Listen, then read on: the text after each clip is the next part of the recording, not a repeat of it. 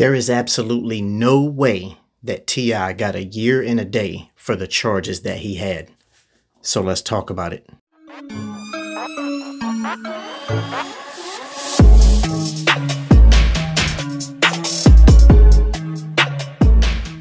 Hey, hey, what's up, everybody? Shout out to all the law abiding criminals out there. As always, you know what to do. Go ahead and hit that subscribe and click that notification bell so you don't miss anything. Very controversial subject today, guys. I don't know if I'm going to wear my shades just because I got a little ring light up here. And yeah, you see that? Every time I look up there, you can see it, but damn, I need a haircut.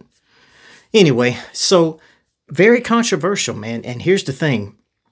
You guys know I did Fed time and, you know, T.I. went to jail for having a bunch of guns. He had machine guns, he had silencers, I'm pretty sure he had a bulletproof vest.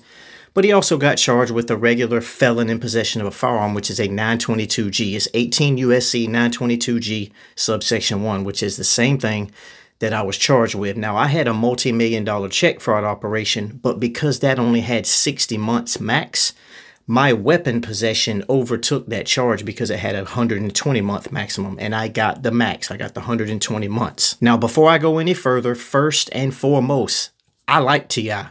I've been listening to his music since around 2002, believe it or not. I was in state prison and my buddy worked what's called the back dock where all the trash comes through and he found a cassette tape because we could have tape players back then.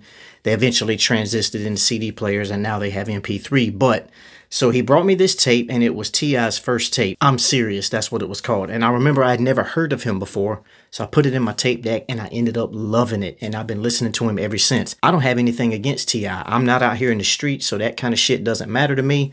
But also, I really can't say that he actually snitched because I don't know the circumstances. But what I do know from doing Fed time and going through the system and seeing other guys with certain charges, I know that something just does not add up. And We're going to start with the fact that he had the 922 G1. Now, T.I. has been in prison before. He went for possession with intent to distribute cocaine in Georgia, which is about as serious as you can get next to trafficking. So, next thing down is possession with intent to distribute. So, he had also had another gun charge by a convicted felon and a silencer previous to all this crap in the feds. Now, that's a good little criminal background there. And the way that the federal system works is they give you a criminal history category based on how many points you have. The more trouble you get in, the more points you get, and it pulls you across that guideline and it gives you a, a, bigger range. So you get criminal history uh, category, and then you go down on your base offense level. And I think that the 922G1 starts off at a base offense level of, what is it, 18, maybe 24? I can't remember. It's been so long. But either way, it just doesn't add up. It intersects, and that's how you get your time. You got your offense level, you get a base offense, and then they enhance you or reduce whatever. And then you've got your criminal history, and it meets in the middle, and it gives a guideline range. Now, I'm going to tell you something right now, just with a 922 G1, that's probably my dog trying to get in the door. Just with a 922 G1, I have never, ever seen anybody get only one year. I'm not saying that it absolutely does not happen, but I know all the guys I know, they get like three, four years, five years, or like me, the whole damn entire thing, 10 years. I had this charge, and that is the only gun charge I had. T.I. got caught with machine guns. He got caught with silencers. So he didn't just have 922 G1. He had some 924s in there. He had some like 922 subsection O's, whatever they are. You'll have to do that research on your own. But he had multiple rapid fire guns with silencers, which even law abiding citizens are not supposed to have. And the man got a year and a day. A lot of people that I've talked to about this back when it first happened, because I was in prison and it was a very heated topic, people just did not want to believe that he would cooperate is the fact they'd be like, well, he's rich. Well, here's the thing. You can't buy the feds. Get that shit out of your head. You do not pay for the feds. Your celebrity status does not matter.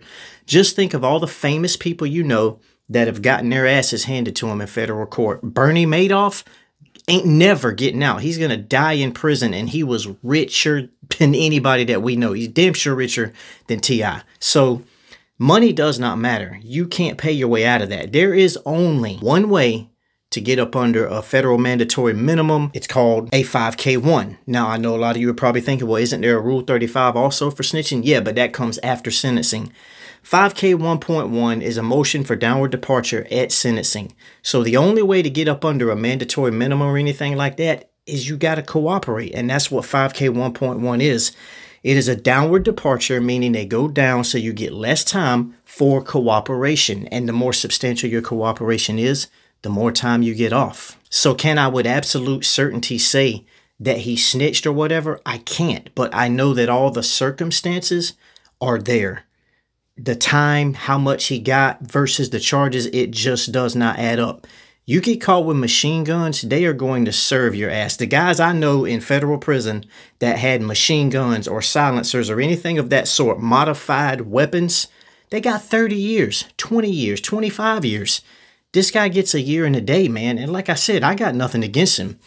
I just know that this came across my radar today. I saw something about it and it just put me back in that space whenever all this first happened and arguing with guys in prison but man, when you've been in the feds, you know. You see these people, you get familiar with the system, you know how it works, you know what can and can't be done. This is not states. There are no back doors and ways to get out of things. The feds operate one way, and that is the only way.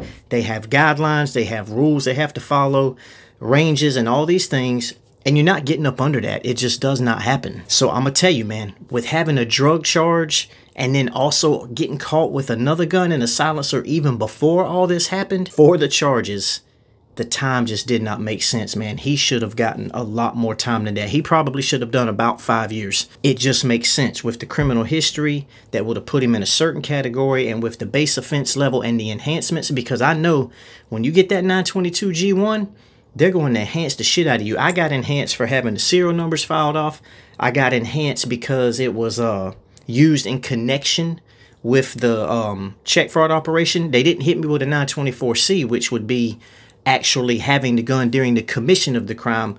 But because I possessed that weapon and I was doing check fraud, they enhanced me two levels, saying that it was to protect the counterfeit operation. So guys, you do your own independent research. Let me know what you think down in the comments, man. Do you think that T.I. snitched?